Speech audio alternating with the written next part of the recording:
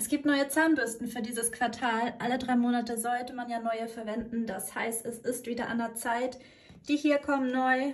Einmal bisher hatte ich die Colorful Curls Edition von Cura Prox, die 5460 und die Velvet von Cura Prox, die müssen neu. Und auch die Bürstenköpfe für die Hydrosonic Pro, das ist diese Schallzahnbürste hier, und auch die Singlebürste muss neu. Diese drei habe ich mir für dieses Quartal ausgesucht. Einmal nehme ich wieder die 1006 als Singlebürste in Orange. Passend dazu auch in Orange die Velvet. Und dann werde ich diese türkisfarbene Ultrasoft benutzen. Das ist die Summer Edition 2022.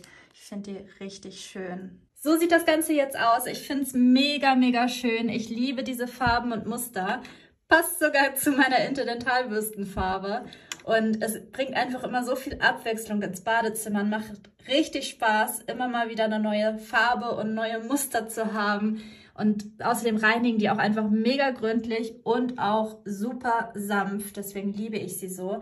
Wenn du auch Produkte von Curaprox kaufen möchtest, kannst du mit meinem Code DrAmi20 auch 20% sparen über die Homepage www.curaprox.de.